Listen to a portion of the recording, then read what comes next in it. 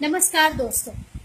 GST केंद्र सरकार कह रही है कि GST one nation one tax है। लेकिन क्या ये वन नेशन वन टैक्स है? अच्छा तो फिर हम क्यों भरते हैं प्रॉपर्टी टैक्स आपने प्रॉपर्टी टैक्स की रिसिप्ट देखी है? उसमें हम भरते हैं एजुकेशनल टैक्स उसके बाद हम भरते हैं road tax tree tax TDS TDS pay करते हैं प्रोफेशनल टैक्स पे करते हैं। क्या ये सब टैक्स लागू नहीं है अभी तक हमारे ऊपर?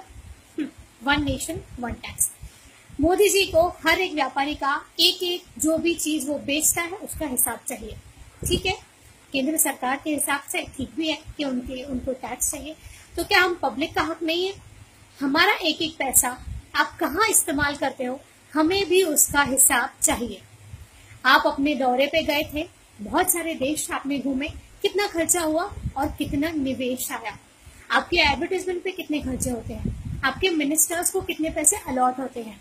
आपकी राज्य सरकार को कितने पैसे अलॉट होते हैं? म्यूनसिपल कॉरपोरेशन को कितने पैसे अलॉट होते हैं? उसके बाद वो लोग वो पैसा कहाँ यूज़ करते हैं? कौन सी डेवलपमेंट पॉलिसी के लिए यूज़ करते हैं? किसको टेंडर देते हैं? किसको कॉन्ट्रैक्ट देते हैं? ये सब हिसाब हमें भी चाहिए। अगर पब्लिक को पब्लिक के हक का पैसा नहीं मिलेगा तो इस बार आप जीत के नहीं आने वाले हैं, ये समझ चाहिए और जिस दिन पब्लिक को पब्लिक के हक का पैसा मिलेगा, उस दिन समझिएगा अच्छे दिन आ गए।